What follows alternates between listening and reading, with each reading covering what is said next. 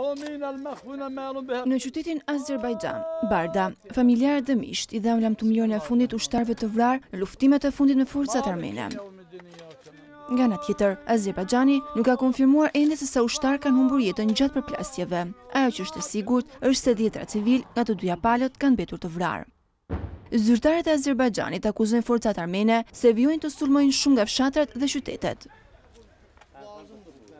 Por së fundmi, Armenia dhe Azerbajxhani kanë konfirmuar se ministrat e tyre të jashtëm do të shkojnë për bisedime në Moskë, e cila ka kërkuar armëpushim mes palëve. Përpjekjet e Moskës, Francës, Gjermanisë dhe SHBA-së kanë hasur vështirësi jo vetëm nga të dyja shtetet, por edhe sepse Turqia mbështet fuqishëm Azerbajxhanin.